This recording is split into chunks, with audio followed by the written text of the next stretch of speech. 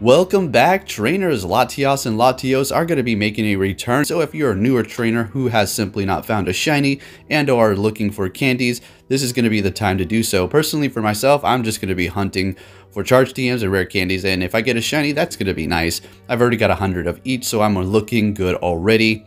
Are they going to be good? We're going to be going over all of that, PvP, as well as going up against specific raids to see where they do rank. So they're going to be returning on January 24th at 1 p.m. until January 27th at 1 p.m. your local time zone. Now taking a look at Latios here, 100% IV non-weather boosted is going to be 2178. Weather boosted under windy weather is going to be 2723. Fast moves are going to be Zen Headbutt and Dragon Breath. Charge moves are going to be Solar Beam Psychic and Dragon Claw. Weak to, Bug, Dark, Dragon Fairy, Ghost, and Ice. And for the quick counter list here, we're going to be going over more specifics because when we do hop over to Pokebattler, the counter list is going to be slightly different here. But for this one, on Latios, we do have Rayquaza with Dragon Tail and Outrage, Salamence, Dragon Tail and Outrage. Remember that Salamence with Outrage is a Community Day move, so do not try to TM into it because you will just waste your TMs. Then we have Garchomp, Dragon Tail and Outrage, Haxorus, which is that newly added Gen 5, Dragon Tail and Dragon Claw, Palkia, Dragon Tail and Draco Meteor, and then Darkrai with Snarl and Dark Pulse. Now, if your Darkrai does have Shadow Ball, don't worry about switching it. Shadow Ball is going to work perfectly fine. Save yourself the TMs. They're both about the same. The difference is Dark Pulse is going to be shooting off slightly faster, while Shadow Ball is going to be a little bit slower, but doing ever so slightly more damage. But you don't really need to focus on that too much. So there you have it for that one. Now moving into Latias, 100% IV non-weather boosted is going to be 2006. Weather boosted under windy weather is going to be 2507. Quick moves are going to be Zen Headbutt, Dragon Breath, and Charm. You're going to have to look out for that Charm, folks, if you're going to be using Dragon types. Charge moves are going to be Thunder, Psychic, and Outrage. Weaknesses are going to be the same as the other. Quick top counters for this one are going to be Rayquaza with Dragon Tail and Outrage, Palkia with Dragon Tail, Draco Meteor, Salamence, Dragon Tail, and Outrage, Garchomp, Dragon Tail, and Outrage, Dragonite, Dragon Tail, and Outrage, and then Haxorus with Dragon Tail and Dragon Claw. As far as making a Haxorus, I'm not too keen on it right now. I like to make a lot of these newer Pokemon that are introduced to show you guys, you know, make the power of videos, but I feel like it's a pretty steep investment to evolve it, power it up, get a good one, and then after all of that, the community day rolls around. So I'm going to hold off on that. Now hopping over to Pokebattler, taking a look at plenty more counters here. Let's go ahead and see what they have here. Going up against Latios. Very interesting how the counters are switched up ever so slightly. So they do have Rayquaza in that number one spot. It's going to be number one no matter what, folks. Yes, it's going to be going down if they have dragon moves, but it's still going to be putting off a ton of damage. And then you have Dialga in that number two spot with Dragon Breath and Draco Meteor. So remember, it is going to be part Steel type, that Dialga. So it will neutralize the Dragon moves on it. And then Palkia in that number three spot, Salamence and Ford Garchomp, Dragonite, Darkrai, Haxorus. And then moving into the next page, starting from 9 to 16, you have Giratina Origin Form with Dragon Tail and Shadow Ball. Chandelure with Hex and Shadow Ball. It's going to be nice to use that. Latios itself with Dragon Breath and Dragon Claw. Hydreigon but these Pokemon still do work if you're rolling with a big group and you just want to get it over with. Togekiss is going to be a nice tanky option as well. And then moving into the next one here for the top counters, this time around, number one is going to be Dialga with Dragon Breath and Draco Meteor. That is because if it does have Charm, I think it's going to be resisting it uh, ever so slightly as opposed to Rayquaza. It's not going to be completely resisted, it's just going to be neutralized. Anyways, moving on to the number three is Palkia. Then Garchomp, Latios, Salamence, kind of the same lineups here, and then moving down the list. And then finally itself at number 16.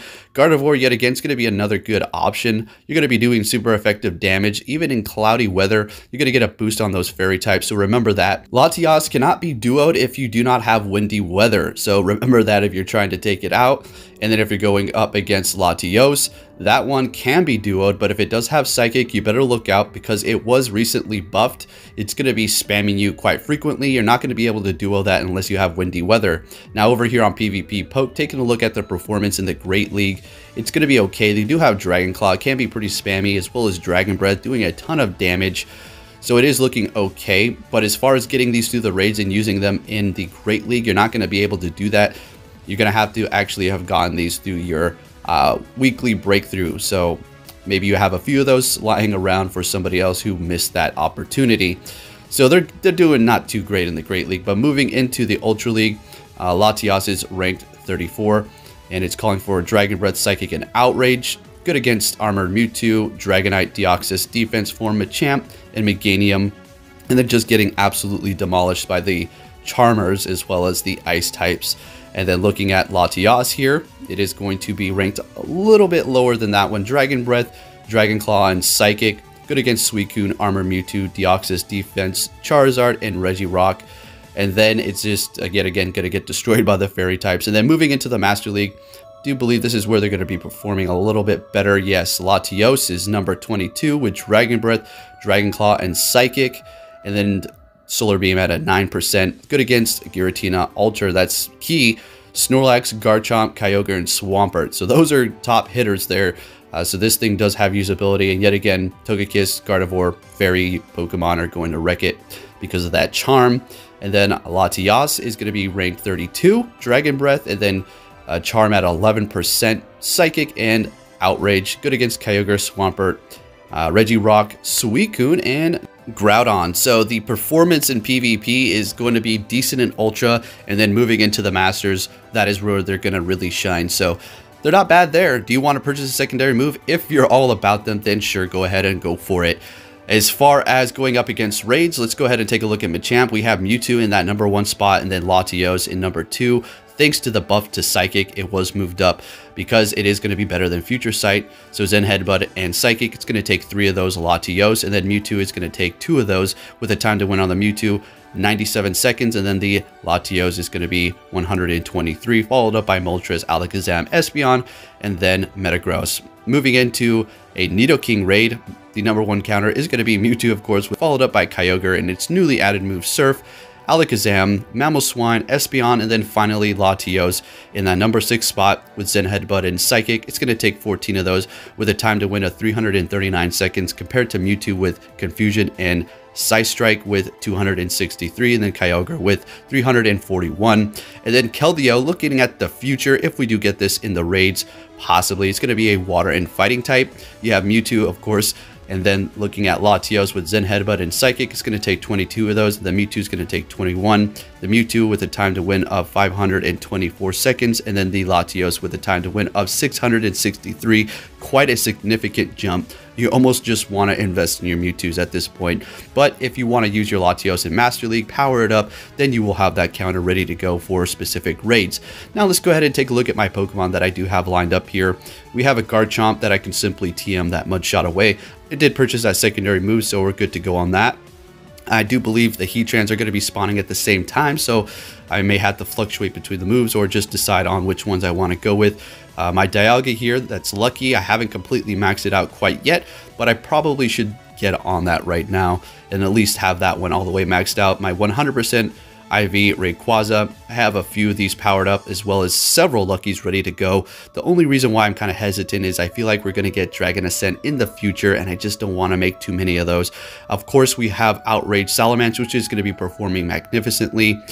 And uh, you may want to throw that in your party, of course. And then we went over those other counters. If you're going to be going in there with big, big groups, you don't really need the top counters to, you know, take this thing out, right? You can throw in a few tanky options like uh, Togekiss or Gardevoir, things that are going to be resisting the dragon moves, and you should be looking good to go. Now, personally for myself, I'm going to be running three Rayquazas. If I do decide to power up another one, then I'll have four followed up by a Garchomp, a Dialga for a bit of tankiness, and then at the end, I think I'll throw in a Salamence, possibly with Outrage, that Community Day move. So if you guys did enjoy this video, please give it a big thumbs up, share it with your friends if you did find it useful, and I'll be keeping you posted on everything that's going to be happening in Pokemon Go. Thank you for watching, and I'll be catching you all next time. Take care.